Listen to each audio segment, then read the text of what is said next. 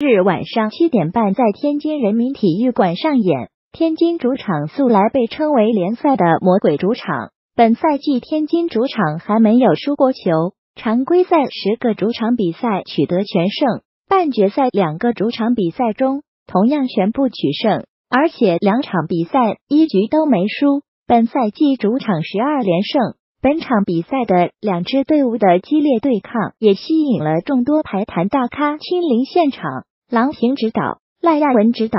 黄金一代自由人张娜、奥运冠军魏秋月都去到现场观看了本场比赛。郎导、赖导。边看比赛边交谈，估计也在讨论球员的表现，为下一轮女排集训名单做准备。此场比赛云集众国手，天津女排刘晓彤、姚迪、王媛媛是现役国手，陈欣彤在今年公布的第一批集训名单中。上海女排有曾春蕾。纵观全场比赛，许世郎导亲临现场略显紧张。众国手的表现并没有出现高光时刻。上海女排客场赢得本场比赛，在众国手中，曾春蕾的表现算是比较好的。第一局，上海队多次出现卡轮，曾春蕾关键时刻利用巧打或强攻得分，帮助本队渡过难关。在关键时刻，在后排防守起球。为本队取得反击的机会，他的发球也屡见奇功，多次破坏对方一传。本场比赛他拿到十五分，撑起了进攻一角，扣球数据为四十四扣十二中。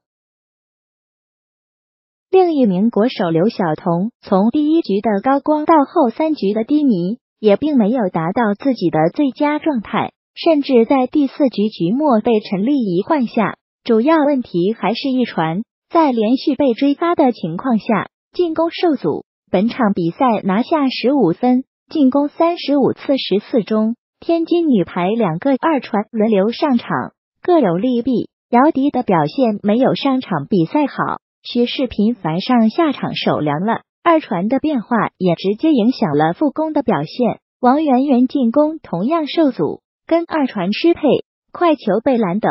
但本场比赛能拿下十七分。其中包括五个拦网，也不愧是副攻位置上的后备力量。